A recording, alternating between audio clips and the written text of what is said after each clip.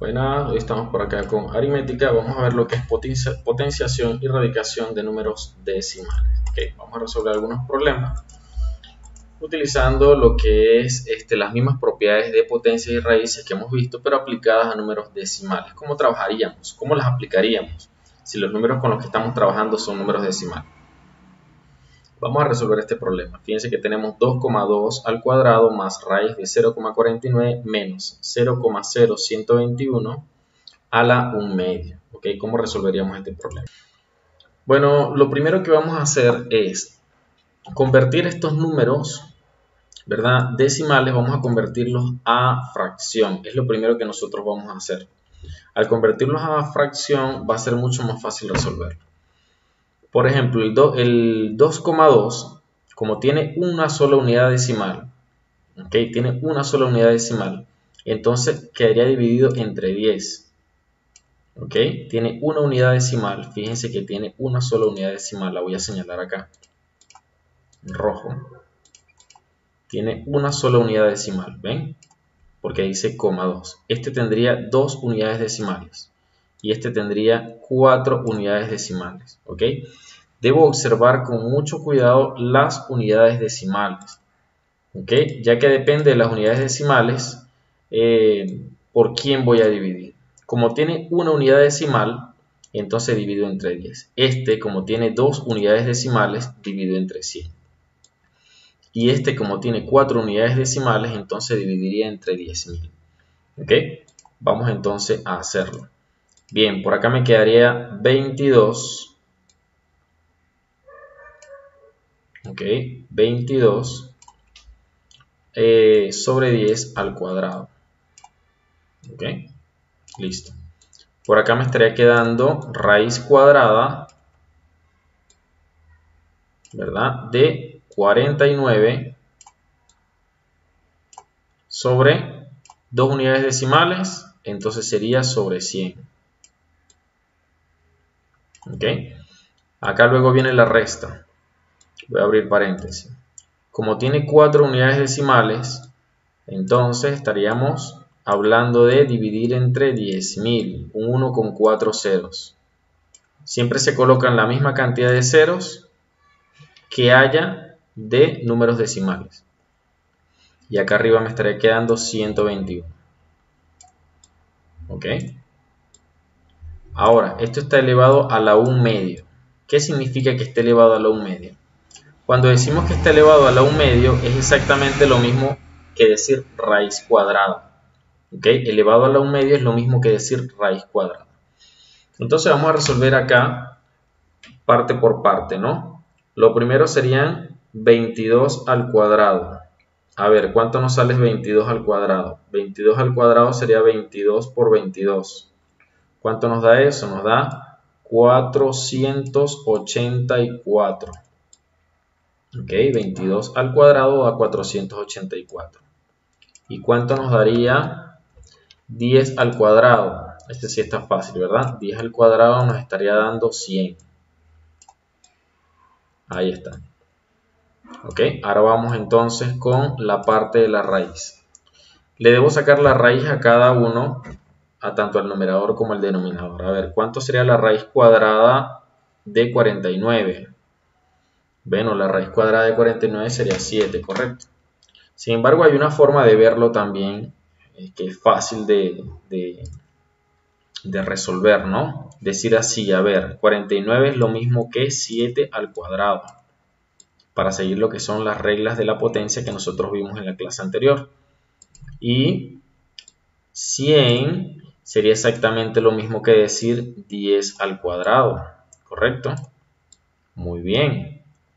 Y por acá entonces tendría la raíz cuadrada.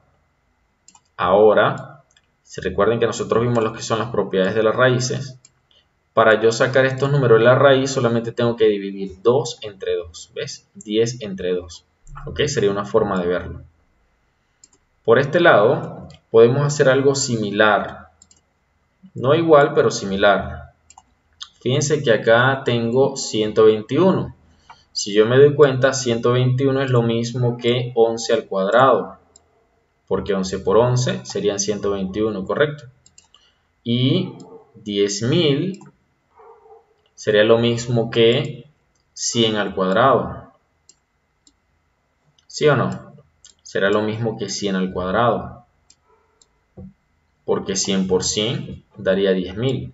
Y esto decimos que está entonces elevado a la un medio. Pero como ya les dije, elevar a la un medio es exactamente lo mismo que sacarle raíz. Entonces yo en vez de colocar a la un medio podría decir, ah bueno, como está elevado a la un medio, esto sería lo mismo que raíz cuadrada. ¿Lo ven? Ahora puedo trabajar con esto. A ver, a ver, a ver. Para esta parte que está acá, como está dividido entre 100, yo puedo simplemente mm, mover la coma, imaginar que la coma está acá al final y que la voy a mover dos espacios hacia la izquierda. Y por, por acá me estaría quedando 4,84. Lo voy a expresar entonces acá de esta manera, 4,84. Ahora, para este caso que está acá, yo diría, a ver, como está 7 al cuadrado, diría el, el, exponente que es 2 entre el índice que se sobreentiende que es 2. ¿Ok? El índice de la raíz cuadrada es 2, entonces 2 entre 2 me daría 1. Por acá me estaría quedando entonces 7 sobre, y con esto hago exactamente lo mismo, 2 entre 2 da 1, entonces me estaría quedando 7 sobre 10. Muy bien. Ahora para la resta, acá voy. 11 al cuadrado.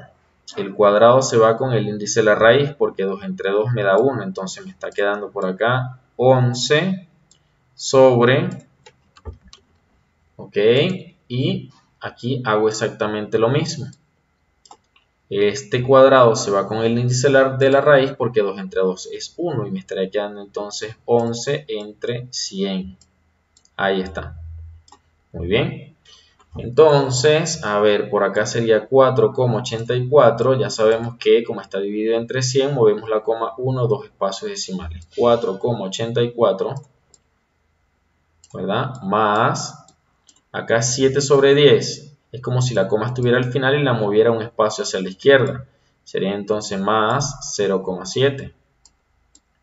Bien, ahora viene menos. Como acá tiene dos ceros, como si la coma estuviese en el final y la moviéramos dos espacios a la izquierda.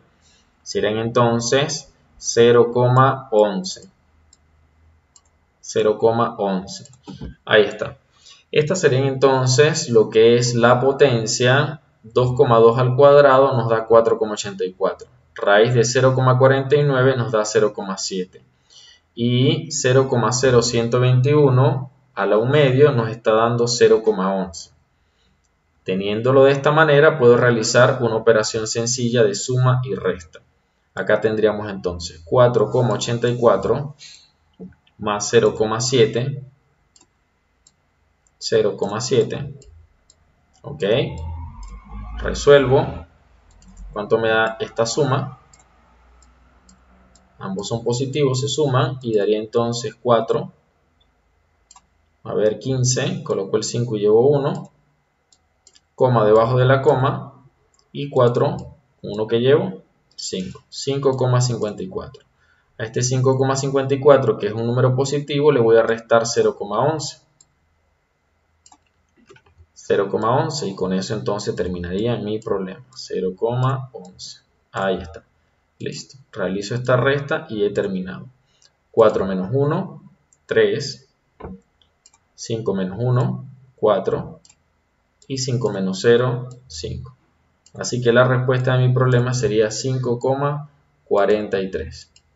Muy bien, sería la forma de resolver este tipo de situaciones de potencias y raíces con números decimales. Podemos expresar como fracción dividiendo entre 10, 100, 1000, 10.000, todo depende de la cantidad de espacios decimales. Luego Puedo entonces expresar como potencia o simplemente sacar las raíces, por ejemplo. 22 al cuadrado, ya que está elevado al cuadrado es 484, 10 al cuadrado 100, esto es potencia, pero con la raíz, raíz de 49, pues de hecho daba 7, y raíz de 100 es 10, porque 10 por 10 son 100 y 7 por 7 son 49. Acá raíz de 121 sale 11, y raíz de 10.000 sale 100. Luego cuando tenemos dividido entre 100 o entre 10 o entre 1000, bueno, vamos a correr la coma hacia la izquierda la cantidad de veces que diga los ceros. Como acá hay un cero, movimos la coma un solo espacio a la izquierda. Como acá habían dos ceros, movimos la coma dos espacios hacia la izquierda. Y luego tenemos que hacer la suma o resta. Vamos entonces a escribir la respuesta en nuestra pregunta. Entonces, acá tenemos nuestro problema. Bien, las tres respuestas que obtuvimos, que son 4,84, 0,7 y 0,11. Al, al, sumar y luego restar nos dio 5,43. Y estos son los procedimientos que seguimos para llegar a la respuesta. Vamos a resolver un problema más. Fíjense que en este caso está elevado al cubo y tenemos raíz cúbica y está a la un tercio.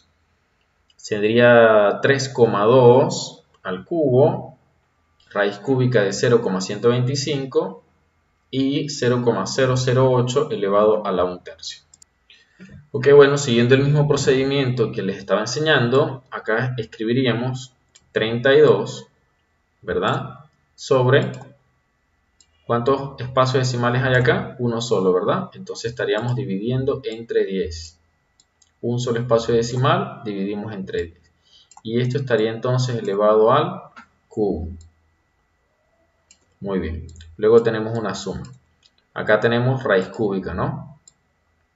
Y escribimos 0,125 ¿verdad? Lo dividimos entre cuántos espacios decimales, tenemos 1, 2, 3 espacios decimales, tendríamos que dividir entre 1000. Ahí está, dividimos entre 1000.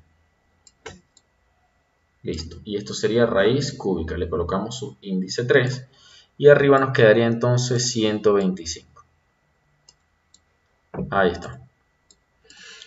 Luego, para la resta, eh, elevado a la un tercio es exactamente lo mismo que raíz cúbica.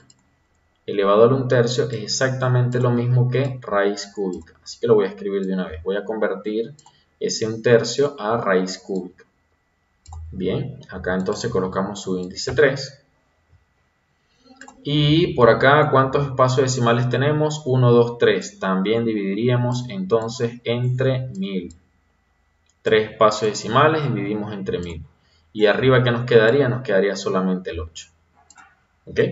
Esa sería la forma de trabajar con este tipo de situaciones. Ahora tenemos que resolver. Para la parte de potencia tenemos 32 al cubo. Sería 32 por 32 por 32. Oye, eso nos estaría dando 32 por 32. Nos da 1024 y 1024 por 32 mm, nos estaría dando 32.768. Ahí está, elevado entonces 32 al cubo. Bien, ahora 10 al cubo sale 10 mm, por 10 por 10, fácil, 1000. 10 por 10, 100 por 10, 1000. Allí lo tenemos. Ahora, para la parte de raíz cúbica, diríamos por acá que raíz cúbica, ¿verdad? Vamos a ver 125, eh, ¿será que lo podemos expresar como una potencia al cubo? Claro que sí. 125 se puede escribir como 5 al cubo, ya que 5 por 5 son 25 y nuevamente por 5 serían 125. Entonces 5 al cubo sería 125. ¿Y 1000 lo podemos expresar como una potencia al cubo? Claro que sí, porque 10 por 10 son 100 y por 10 serían 1000. Así que 10 lo podemos expresar como 10 al cubo. 1000 lo podemos expresar como 10 al cubo. Vamos entonces a ver el 8. ¿Será que el 8 lo podemos expresar como una potencia al cubo? Yo creo que sí. Porque 2 por 2 son 4 y 4 por 2 son 8. Entonces el 8 lo podemos escribir como 2 al cubo. 2 al cubo. Ya que 2 por 2 son 4 y 4 por 2 son 8. Bien, y 1000 nuevamente serían 10 por 10 por 10. Es decir, que lo podemos expresar como 10 al cubo. Allí lo tenemos. Muy bien. Entonces, a ver, a ver, a ver. Para solucionar esta parte del problema, simplemente simplificamos la potencia con el índice. 3 entre 3 me daría 1, ¿verdad? Entonces acá me está quedando 5, ya que 3 entre 3 es 1. Acá sería 3 entre 3, 1 también, me estaría quedando entonces 5 entre 10. Allí lo tenemos. Y para esta parte que está acá, a ver, 3 entre 3 también da 1, entonces acá me estaría quedando 2. Y en el denominador 3 entre 3 da 1, así que me estaría quedando el 10. Muy bien. Y para esta parte que está acá, es bastante sencilla porque como está dividido entre 1000, entonces simplemente imaginamos que la coma está al final y la movemos 1, 2, 3, 3 ceros, 3 espacios a la izquierda. 1, 2, 3. Así que me estaría quedando por acá 32,768. Ese sería el número decimal correspondiente. Y por acá está también bastante sencillo porque si coloco la coma al final y está dividido entre 10, muevo la coma un espacio hacia la izquierda. Y aquí pasa exactamente lo mismo, un espacio hacia la izquierda. Entonces nos está quedando por acá 32,768 y más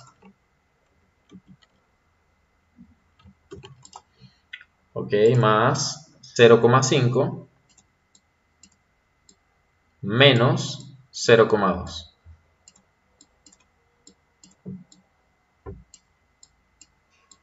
y por acá solamente tendríamos que resolver las operaciones. Bien vamos a ver. 32,768 que es positivo, lo sumaríamos con 0,5, coma debajo de la coma, bien importante, realizamos la operación de la suma, quedándonos entonces por acá, podemos completar con ceros, acá completaríamos con un 0 debajo del 6 y otro 0 debajo del 8, así que sería 8, 6, 2 y llevo 1, coma debajo de la coma, 3 eh, y 3, 33,268. Y le restaríamos el 0,2. Restaríamos 0,2. Recuerden que la coma va debajo de la coma. Y acá tendríamos que completar con ceros. Muy bien. Realizamos esta operación y obtendríamos el resultado de nuestras operaciones. A ver. 8 menos 0, 8. 6 menos 0, 6. 2 menos 2, 0. Coma debajo de la coma, 3 menos 0, 3. Y por acá 3 nuevamente. Me da 33,068. Sería la respuesta de mi problema. 33,068. Vamos entonces a escribir esta respuesta, esta solución allá en nuestro problema general. Y por acá entonces tendríamos nuestra respuesta. 3,2 em, al cubo, bien, lo transformamos a fracción y resolvimos y nos dio 32,768. Raíz cúbica de 0,125, convertimos a fracción, expresamos como potencia cúbica y resolvimos, nos da 0,5. 0,008 elevado a la 1 tercio, eh, expresamos el 1 tercio como raíz cúbica, expresamos como fracción, expresamos como potencia al cubo, bien, y nos dio 0,2. Luego sumamos 32,768 más 0,5 y a ese resultado le restamos 0,2, obteniendo la respuesta de 33,068. Acá están las respuestas generales y este es el procedimiento que se sigue. Bueno chicos, sería todo por hoy, esa sería toda la clase, muchas gracias, espero que les haya gustado.